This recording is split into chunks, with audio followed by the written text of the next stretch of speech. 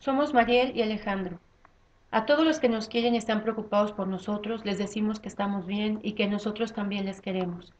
Le reiteramos a nuestras familias, amigos, compañeros, estudiantes, pueblos, comunidades, organizaciones, sociedad en general, que seguimos del lado correcto, del lado de los buenos, del amor y de la justicia verdadera.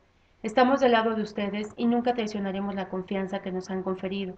Con este mensaje queremos aclarar que no estamos huyendo, ni mucho menos eludiendo la justicia, porque no somos criminales ni hemos cometido delito alguno.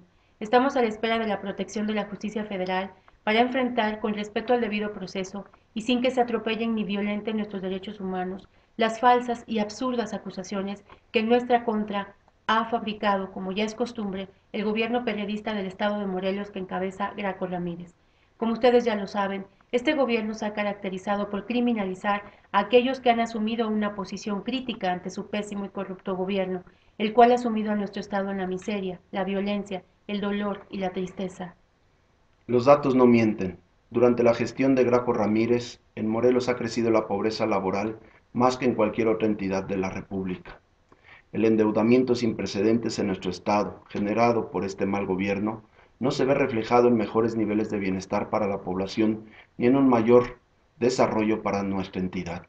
En materia de inseguridad, durante el gobierno del perredista se han encendido los semáforos rojos en relación con todos los delitos de alto impacto. Recordemos que Morelos fue el primer estado en donde se descubrieron fosas clandestinas en las que una Procuraduría de Justicia inhumó criminalmente a las víctimas de la violencia y la delincuencia, sin que a la fecha hayan sido castigados los responsables que fueron señalados por la Comisión Nacional de Derechos Humanos. Hoy por hoy, Graco Ramírez es calificado como el peor gobernador en la historia de nuestro estado y como el peor gobernador en todo el país, según las diversas encuestas que se han efectuado en esta materia.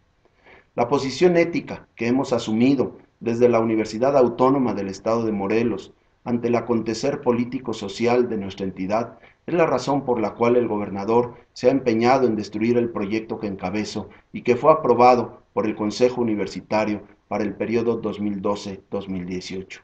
Así, ha tratado de impedir que nuestro proyecto de universidad socialmente responsable prospere, intentándolo perversamente de diversas maneras. Una, amenazándome y amenazando a mi esposa y a mis hijas para obligarme a renunciar a unos meses de haber asumido la rectoría. Por este motivo, se integró una carpeta de investigación en la PGR, quedando registradas en el mecanismo de protección mi esposa y mis hijas. Dos, amenazando a mis colaboradores más cercanos, algunos de los cuales se encuentran ya en el mecanismo de protección de la Federación. Tres, no entregando completo el subsidio ordinario que le corresponde a la universidad por mandato constitucional. De hecho, al cierre del presente ejercicio, el adeudo del gobierno con la institución será de casi mil millones de pesos. Cuatro, retrasando la entrega de administraciones estatales y federales, tanto de recursos ordinarios como extraordinarios. Este hecho está también consignado en la PGR y contamos con una suspensión a nuestro favor por parte de un juez federal. 5.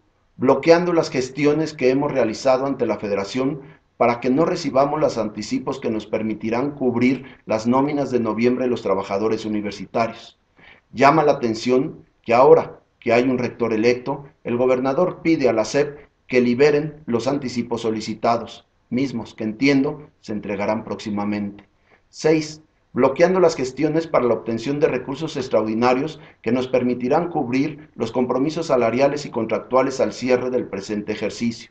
También aquí parece ser que al contar ya con un rector electo, el gobernador pidió a la SEP que liberen los recursos extraordinarios.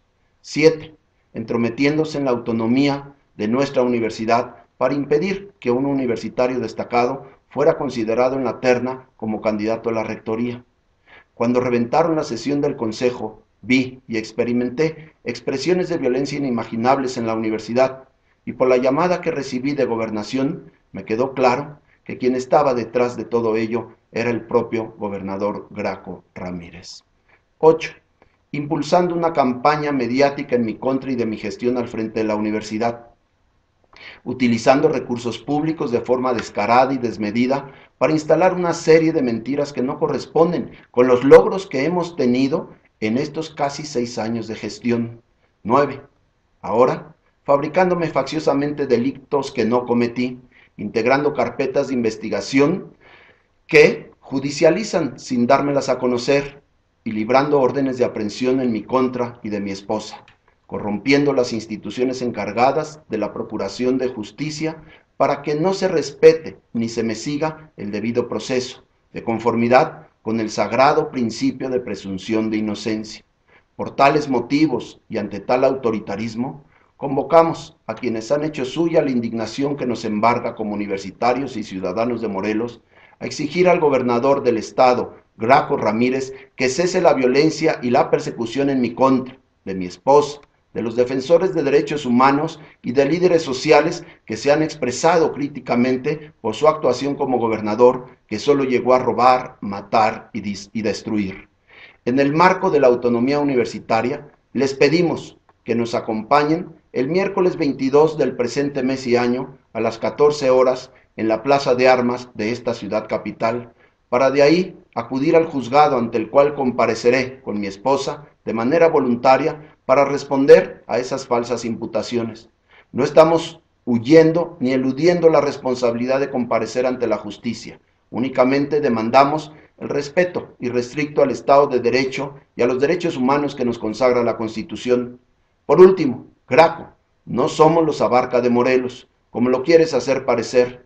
Nosotros no cavamos fosas, las abrimos. No desaparecemos personas, las buscamos. Los Abarca son producto de gobiernos criminales que no respetan el Estado de Derecho ni los derechos humanos.